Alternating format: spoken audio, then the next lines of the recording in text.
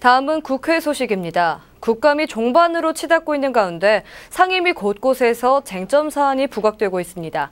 정무위원회에서는 정부기관의 비정규직 고용 문제, 포털의 사업 확장 문제 등을 질타했습니다. 박미연 기자입니다.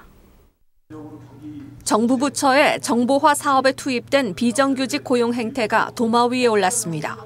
사업 연도를 2월한 경우에 당하는 표적 감사를 피하기 위해 또 단기간 성과를 위해 비정규직 고용은 정부 부처 역시 쉽게 하는 선택입니다. 신동우 의원은 개선 방향이 마련돼야 한다고 지적했습니다. 8개월, 9개월 걸릴 걸 6개월에 맞추려니까 긴급 인력을 투입하려고 또 비정규직을 연말에 집어넣는 거예요. 자, 정부가 늘 국가 정책으로 일자리 만들고 정규직으로 하자 하면서 실제로 이 정부의 움직이고 있는 모습 고쳐야한는 제 주장입니다. 어, 저희들이 정밀한 실태 파악이 필요해서 네. 미래부 중심으로 금년 말까지 전부 한번 거기에 대해서 한번 실태 조사를 지금 시키고 있습니다. 네. 그래서 이재영 의원은 포털의 사업 확장 방식에 문제점을 지적했습니다.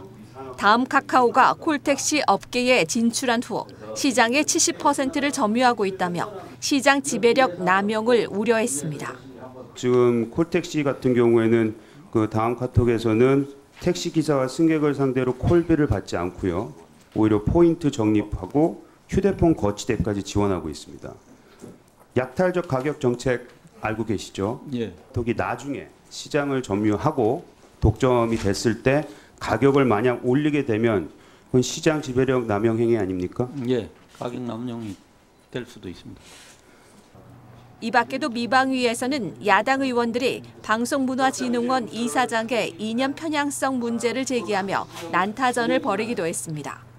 국정감사가 종반으로 치닫고 있는 가운데 상임위 곳곳에서 쟁점 사안이 불거지고 있습니다. CNN 뉴스 박미연입니다.